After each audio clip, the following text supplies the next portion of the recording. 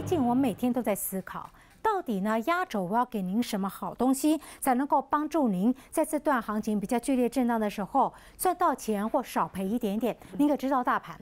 大盘从前波的低点八五二三涨到今天的最高点是一零三四四，大涨了一千八百点以上。涨幅超过百分之二十，会直接来请上来。您有赚这么多吗？两根涨停板吗？你有赚一千八、一万八、十八万以上吗？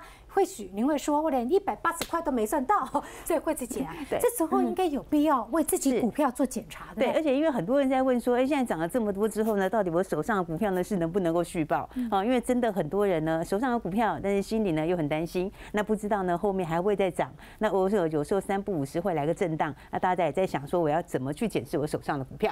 好，所以的话，我们今天就把直接把一些呃重要的一些准则，那么给大家做参考，大家可以把它记录下来之后呢，以后来逐一检视你手上的股票。判读要件先弄懂，来看第一类。所以我们来看看第一类的话呢，注意就是说呢，最忌讳的就是呢爆大量，好，尤其的话呢，因为涨了一千多点起来，好，所以呢反弹起来爆大量的时候要特别注意，爆大量它不一定就是不好，但是呢，如果它跌破了低点的话，那么这里的话筹码就会散掉了。请问哦，反弹后爆大量，对，反弹然后出大量，就意味着。我在这边买，这边呢几乎卖光光，所以在高档有人出白话文，没错哈。所以的话，这一类型的股票的话呢，它一旦跌破低点之后呢，势必要整理的时间会比较长。好，那所以的话呢，这一类型话，有一些股票并不是说他们都是这样，但是有一点点最近开始有出大量的。好，我们挑一档检查来看好，我们来看看夜辉。那我们看它的 K 线。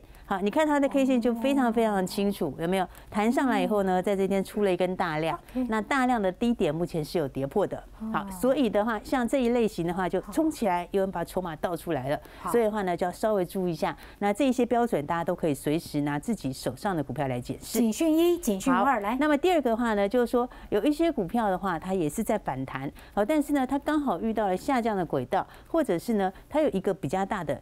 周线或者是月线的颈线，好，所以这一类型的股票来说，那么呢，因为遇到的是一个中期的压力线，好，所以它当然就会比较有压力。好，那通常看红海，好，我们来看看红海哈。那么呢，我们先看它 K 线，好，那 K 线的话呢，它也有反弹。好，那我们来看看它的周线，好，周线的话拉长一点点的时间。好，你就会看到有没有？它事实上跌下来了之后，它现在再往哪里反弹？往这一条颈线做反弹，有没有？然后这个颈线的话，下面还有另外一个这个位置，也是之前的另外一个颈线的地方。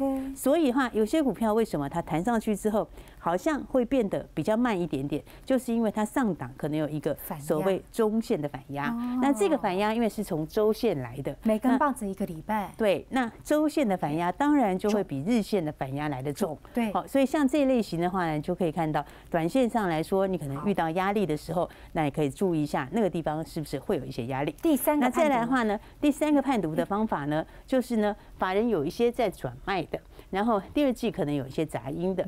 好，所以这一类型的话。当然，它可能跟产业有一些关系。好，那大家可能第一时间没有办法完全了解产业的状况，但是你可以从法人的动作来去做一个判读。来看玉金光，好，我们看看玉金光的 K 线。那么郁金光的 K 线的话，弹起来之后，你有没有发现，其实法人已经开始有一些零零散散在做卖出的动作头线的买盘不稳了，对，开始不太稳定了。那走势上来说的话，反弹起来也遇到了一条、两条、三条的压力线了。OK OK，好，所以第一章就是呢，麻烦您要注意哦，对，判读三大讯号。对，如果反弹，您可能要卖一趟。对，你可以随时检视手上的股票会不会出现这样的讯号。讲真话，我在乎的是第二章。对，第二章就是要让您捞回一点点亏本的。对对，来来来。第二章的话，我们来看看哈，有另外一种的话呢，就是说比较可以呢，这个拉回做加码，或者是呢可以持股续报的，包括什么呢？有一些股票，我们看它的周 K D 和月 K D 两个都在往上面走。好，所以我们现在看的不是日 K D，是中线上面的指标，对不对？那这里面的话呢，当然有一些话呢，月 K D 是已经交叉的，所以它非常。常强，像是呢金像店也好像是超重也好，这些世纪钢等等这几档都是如此。所以这两天哈，像金像店跟南店就非常的强。为什么？跟大家报告一下啊，因为呢这个是每一根棒子是一个礼拜，一个礼拜周 K，对每一根棒子是一个月，它对所以它是月 K。对，你知道周 K 跟月 K 如果能够 K D 黄金交叉向上，它时间其实是很长的对，所以是中长线的观察。对，所以这就表示它是中长线是翻多的，哦哦，所以这不一样。所以你看为什么金项店跟南店那么强？看这两档周线跟月线都开始交叉。来，好，我们来看看，这是金项店。现在看到的话是周线，有没有？它是已经交叉了之后哦往高档走可以，然后再来，我们再看看另外一个月线。哦，月线也看，你看有没有金来金项店的的月线？我们金看金项项店的月的月线。好你看它的月线的话呢，有没有？它也是一样哦，月 K D 是往上在交叉的。好，所以的话呢，就变中线它有助长的力道，它的短线就非常的强。那再来的话，我们挑一档看哈，一类看一档就好。那对这个第二个然后再来的话，我们看看呢，还有一种的话，它的营收年增哈，而且是往上增加的。然后再来股价的话呢，本身又是在季线上面的，所以这一类型的股票的话，那比方说的话，我们来看哪一档好呢？比方我们看新象或看金豪哥。那，我想要看联茂来，好你想？看联茂？好，联茂的话呢，我们看看哎，那联茂的话呢，基本上有没有？它的基本上股价哈，我们把它弄长一点点。好，用长一点的话，你可以看到，基本上它在这里上上下下、上上下下，但是呢，现在的话也已经回到了半年线，所有的均线您刚刚说要看哪一条线？季线。季线，所以呢，季线在这儿。是。那您刚说 Q1 的营收要比去年来得好，对比去今年有疫情，去年没疫情，今年呢能够比去年好，那叫是。了不得。对。所以呢，Q1 成长又在季线上，这种是续报。对，像这样的股票的话，它拉回来就会有支撑。好，那加上其实第二季的展望也是往上走的。好，好，那再来的话，我们看下一个。那还有一种的话呢，就是它有震荡的时候，那偶尔有拉回，对不对？但是拉回的时候呢，法人是持续站在买方的股票。是哦，建策跟智新两档来。好，我们先看看，呃，先看哪一档呢？好，我们先看看这是建策。嗯，所以你看建策的话呢，有没有它上来以后呢，它也震荡了一下，上去了以后又震荡了一下，有没有？但是你看看法人基本上就是一路在做买超哎，。惠子姐，我发现了，今天从一开始到现在，嗯您都比较着重在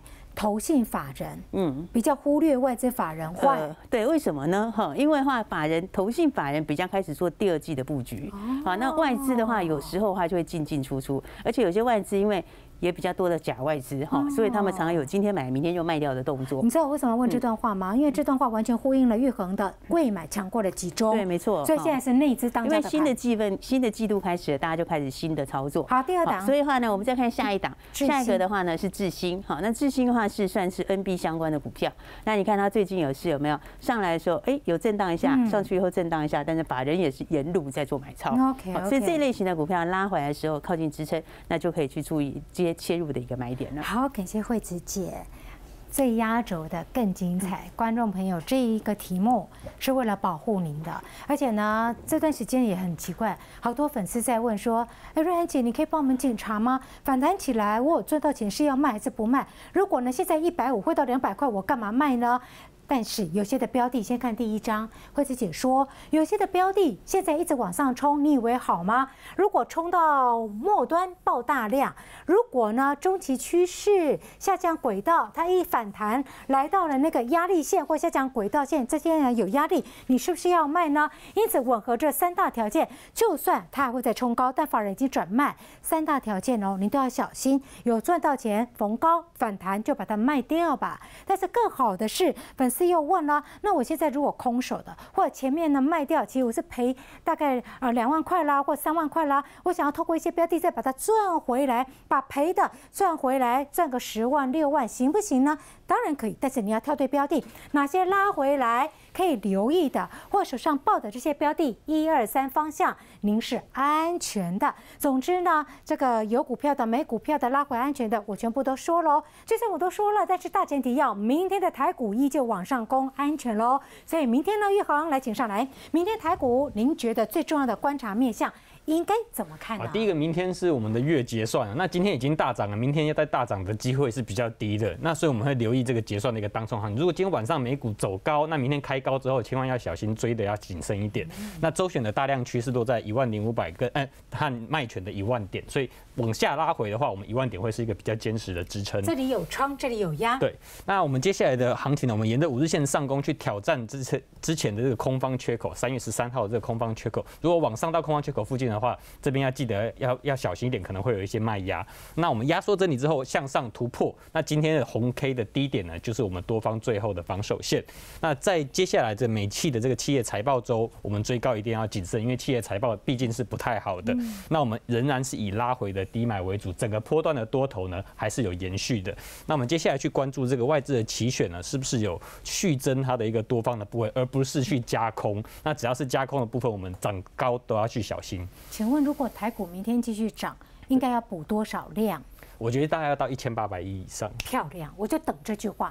观众朋友，明天的台股有办法，有机会继续涨哦。但您不要太开心，因为呢，现在十一点半差不多的时间哦。您看一下美国股市，美国股市哦，开高之后就稳在这，没有继续再往上做冲高了。所以明天的台股有没有办法继续涨，又带大量，会不会到最后虎头蛇尾呢？都是明天台股观察重点，没错吧？没有错。好，到底又发生什么事情呢？美国股市稳在盘上。有没有其他的杂音？所以上攻，嗯，攻不太拉大它的幅度呢？锁定待会的深夜新闻，感谢收看，祝您晚安，我们再会。